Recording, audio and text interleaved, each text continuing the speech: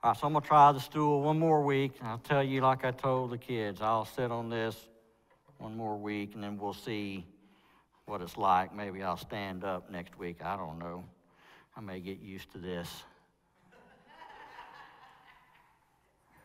may get me a comfy chair up here. All right. Somebody says no, because we'll be here all day then. So, well, yeah, I could, I could do that too. You know, I, I know, I know I'm, I'm built low. There's, there's. I knew what you meant. Let's pray. God, you have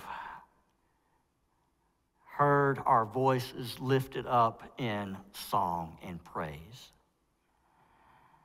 You have uh, received prayers uh, spoken out loud and those silent prayers that we have offered up.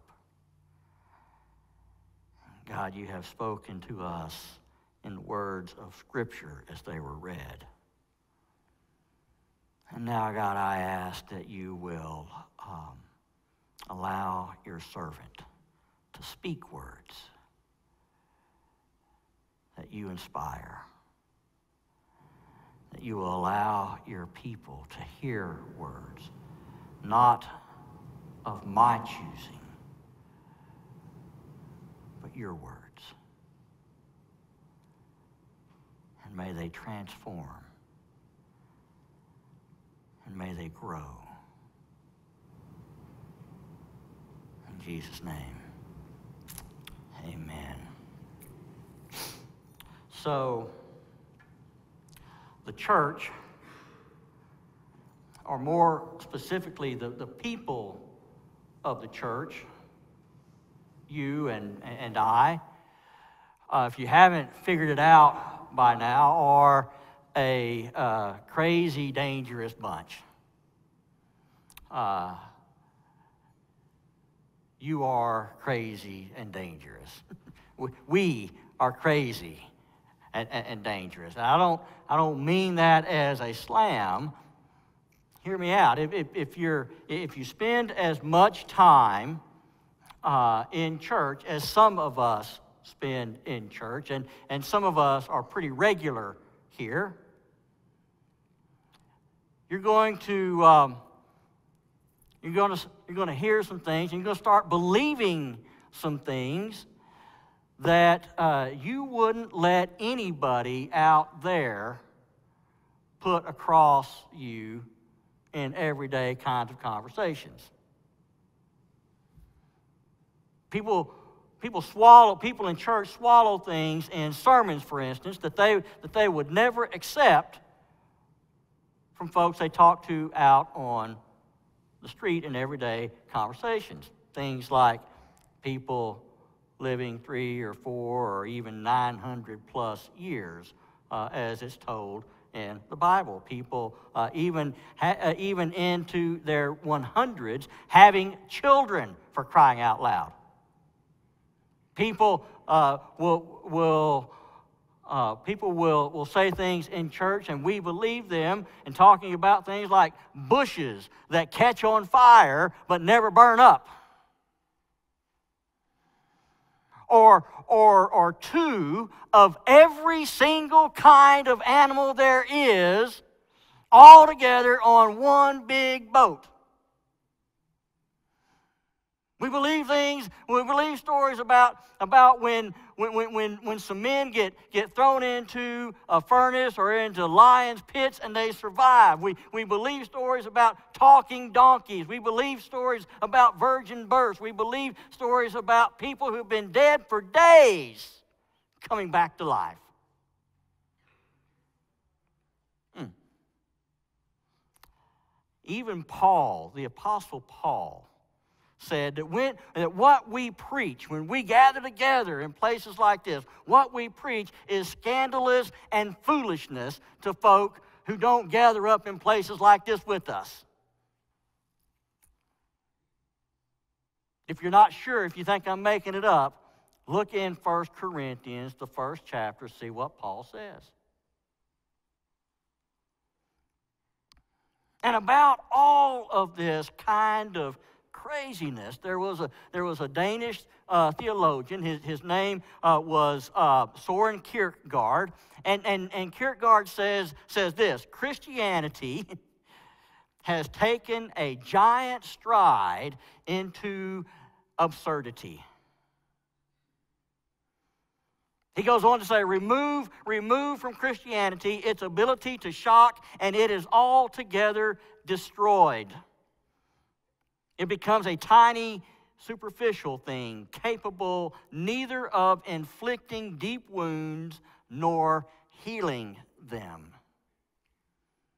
And, that, and that's what happens when we, when we gather here in places like this, whether, whether, it's, whether it's this house of worship or, or others perhaps that, that you have uh, had the opportunity uh, to, to be. Uh, we, we, we, gather together, and sometimes, sometimes uh, words are spoken that heal and comfort, right? And, and, then, and then there are those times when, when, when some words are spoken uh, that, that shock and inflict wounds. We call that having our toes stepped on. But still, we keep coming. We, we keep coming back. We keep gathering together. And, and it's not long because we keep coming back for all of this. It's not long before uh, we convince ourselves that somehow all of this, all these crazy words, begin to make sense to us. And it's at that point when these words begin uh, to make sense, when we convince ourselves that these words are beginning to make sense, that we really start worrying folk that are out there that aren't in here with us.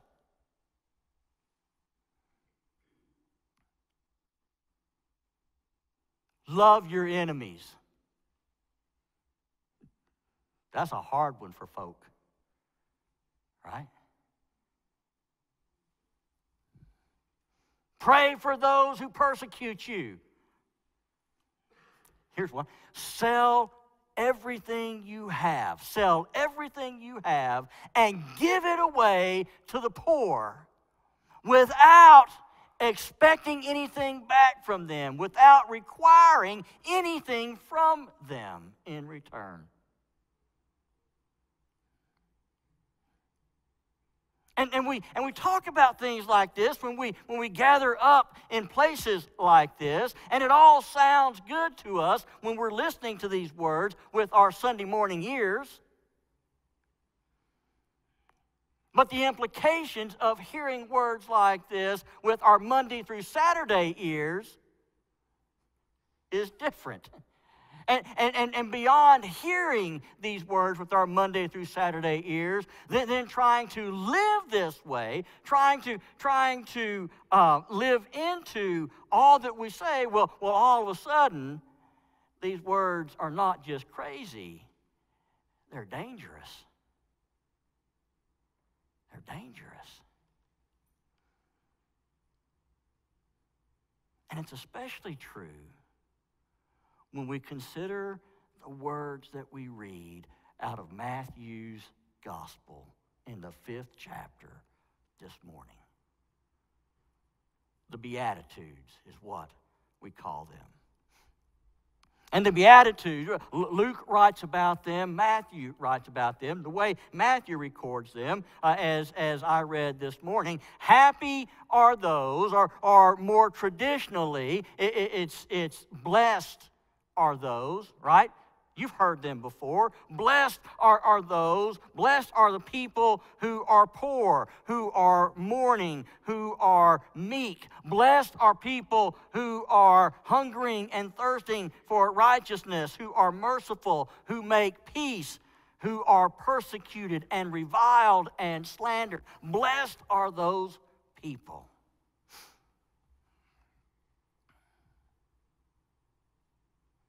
Now, I'm not going to speak for you, but these are not the blessings that most people want.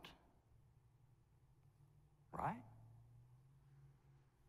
if we're honest with ourselves, being poor and being mournful and being hungry and thirsty and being persecuted and slandered and reviled are all experiences that we try really hard to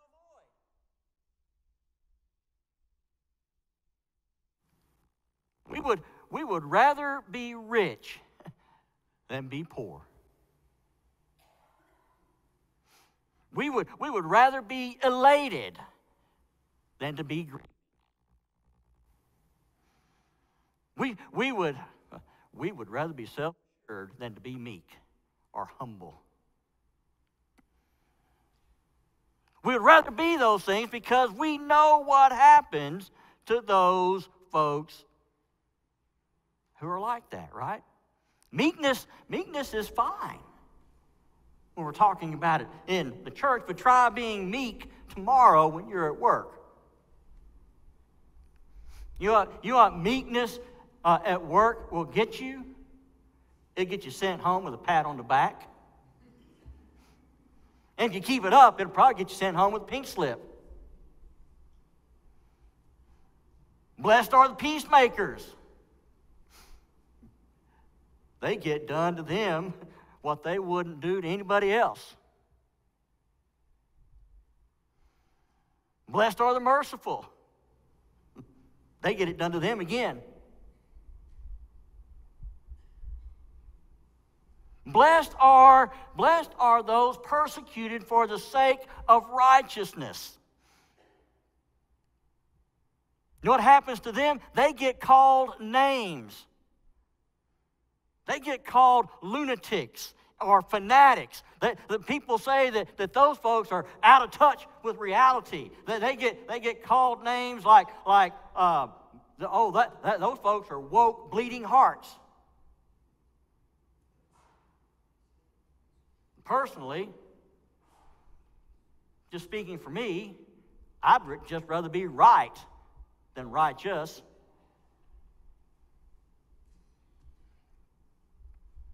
If these are blessings, then I'm not so sure that I really want any part of that. Unless, unless we misunderstand what it means to be blessed. What if blessed does not mean what we think it means? Blessed is, is, is, one of those, is one of those words that fall into a category of language that I call churchese. Church ease is that kind of language that we speak when we gather up in places like this, and we use words in church that we rarely use out in the world. And it, we, we use words that in church that we, that we sometimes think we all understand. We all understand what we're talking about, but nobody can really clearly, accurately, succinctly define that word.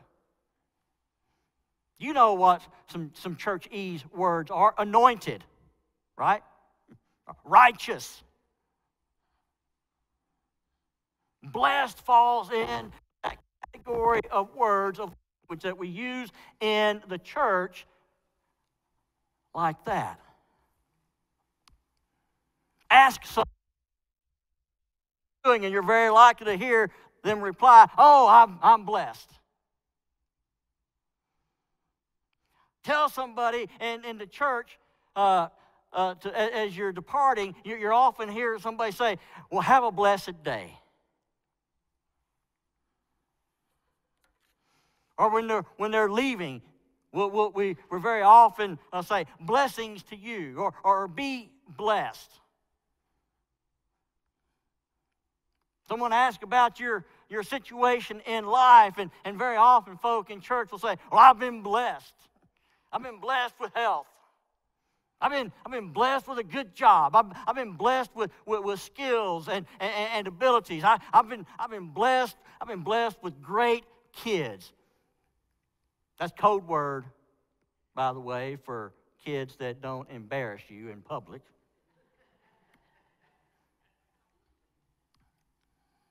And from statements like these, it, it, it's, it's very easy to, to assume that blessed, the word blessed, can mean anything from, from being very lucky to just being happy.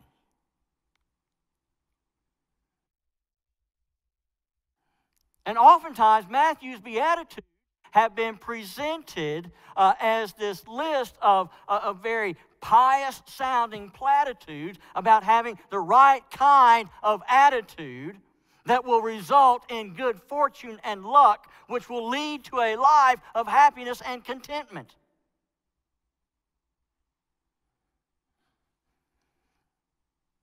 But I'm not sure that's what Jesus is talking about.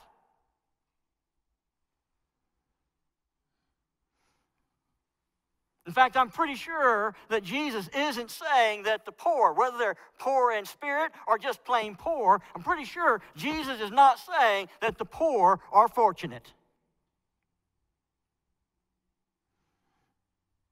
I'm almost certain that Jesus is not saying that folks who are mourning, who are brokenhearted, who are dejected, are lucky.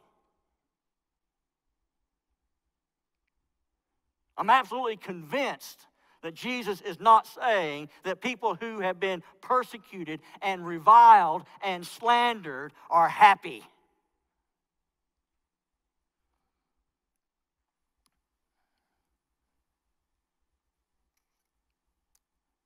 I think maybe a better way of, of, of understanding uh, what Jesus is saying, I think maybe a better word uh, for us to, to be able to get our minds wrapped around what he's, what he's talking about is, is the word honored. Honored has a very different connotation, very different meaning from good fortune or good luck or happiness.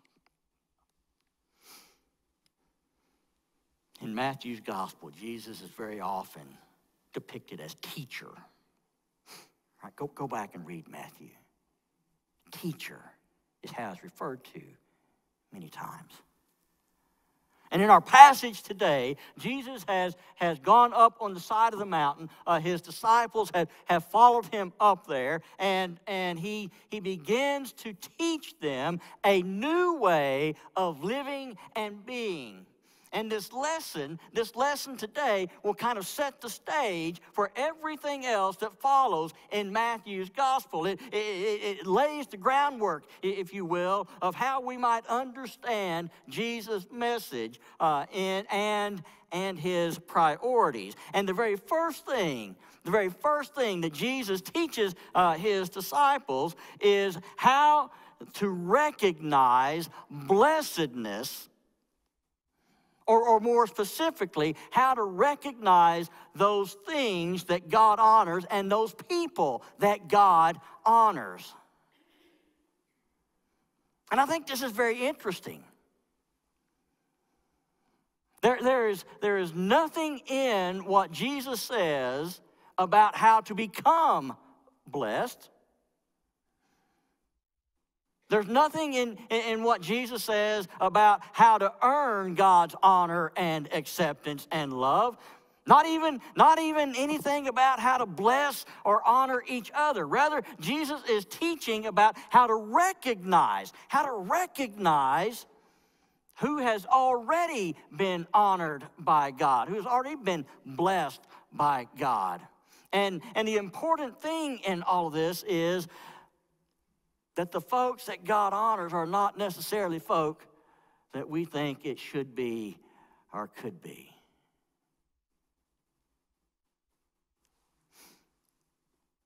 Every single community, I don't care where in the world, every single community has its own definition, its own understanding of what it constitutes to be blessed, of what constitutes blessedness in the honored kind of sense. And we may not always use such a, a pious sounding word as blessed. Oftentimes we prefer to use words or phrases like uh, the good life or, or being successful But we all have these ideas of what it means uh, for folks to have made it.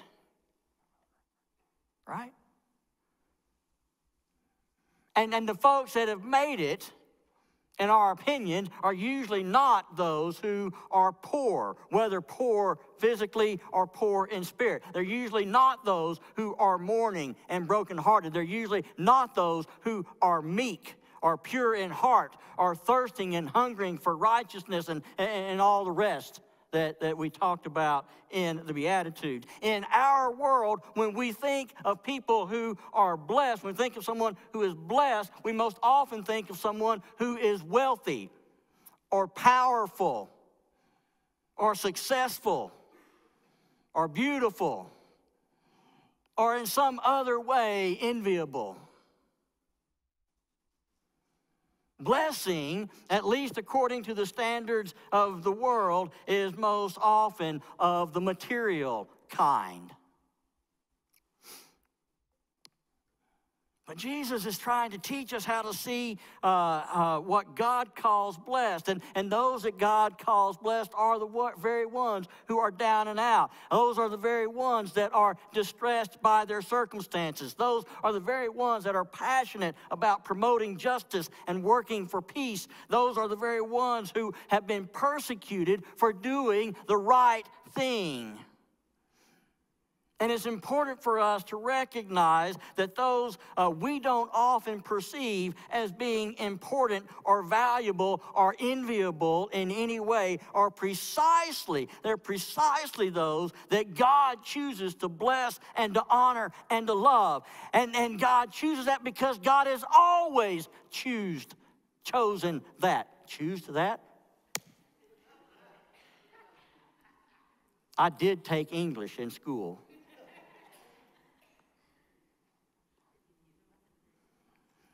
And, and if, if, we, if we let ourselves read uh, this passage out of Matthew in this way, it, it, it's, it's almost as if uh, Matthew's version of the Beatitudes uh, is, is very similar to uh, Mary's song in Luke's Gospel, the Magnificat. Remember that? We read that not long ago. And, and, and in uh, that passage in Luke's Gospel, Mary is singing about how God favors those in need.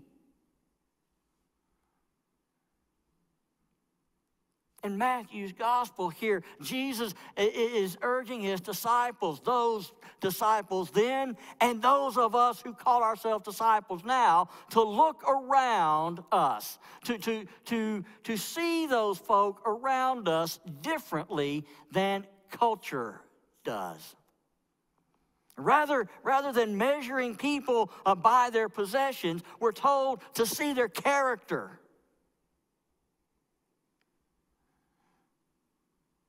We're invited to, to, to, to, to uh, not just take pity on people for their losses, we're invited to come alongside them and enter into their struggle. Rather than, than judging folk by their failures, we are expected to forgive them and, and to remind them that they are honored and loved by God.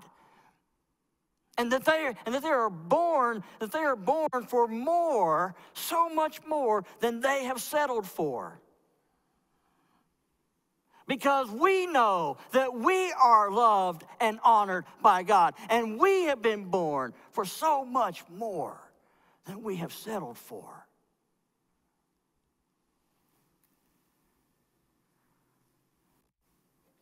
Rather than despise people for their weakness.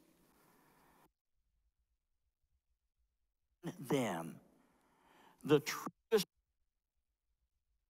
of God meeting God's people. Of because God is revealed most clearly to us, most consistently to us at our places of deepest need. What? what? place where people recognize that God always appears where God is least expected to be. Amid people's brokenness, amidst their heartache and their pain, amidst their struggle. And God shows up in those least expected places in order to bless that which the world refuses to bless. God shows up at those places in order to love what the world calls unlovable. God shows up in those unexpected places to redeem that which the world uh, does, uh, does not believe is worth saving. And what would, what would it be like if, if we became people who, when we leave this place, when we leave this building called church, that we leave with, with, with new eyes, able to see and perceive in the needs of people around us, our neighbors and, and, and acquaintances?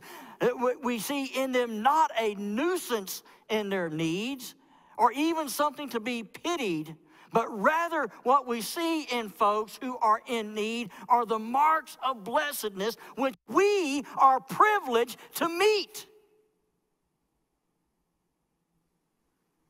What would that look like? I think if that happened, we would, we would all be more like the, the, the, community of discipleship that Jesus founded, fashioned on God's grace uh, to be different from the world around us, to be, to be places, to be people of forgiveness and mercy and grace and goodness. And I think, I think if we did that, that we might discover that others would be attracted to join us, to, to join with us.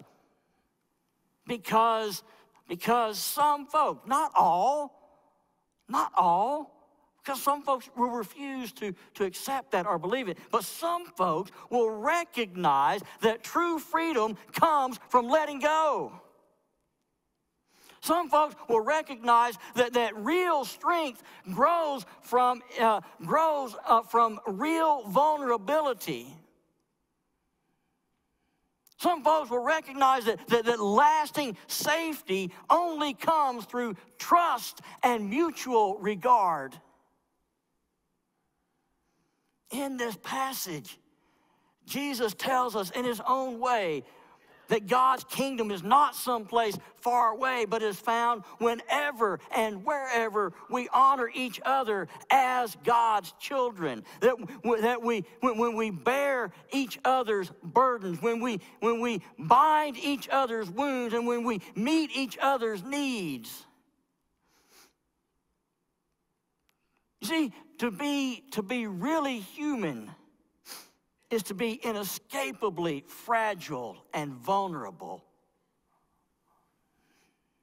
And the surprising thing for us is, and maybe not for us because we're here all the time, we believe the stuff that we say in church, but the surprising thing for folk out there that hardly ever come in here the, the message we need to share with them is, is that, that the surprising character of God is not to reject any of these characteristics that we might call flaws or weaknesses or burdens or failures. Is the surprising characteristic uh, uh, of God is, is that God will gather all of them and all of us together in a divine embrace.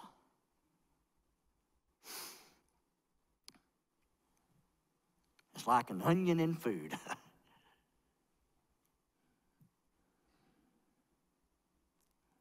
Look, this, this is not necessarily an easy word to preach. Probably not an easy word to hear or accept. I get that. But ultimately, it is a true word. And it has the capacity to transform, to create and grant new life. Not because I'm speaking these words, but because God speaks these words. Blessed are the poor in spirit. Blessed are those who mourn. Blessed are the meek and the pure in heart, and those who hunger and thirst for righteousness and who are persecuted uh, on Christ's behalf. Folks, that is quite a list. And blessed also are those who see the blessings of God in their neighbor's need, who see the blessings of God in their neighbor's need and give thanks that they have the capacity, that they are privileged, that they are invited to meet those needs. Blessed are those. In the name of the Father, and the Son, and the Holy Spirit.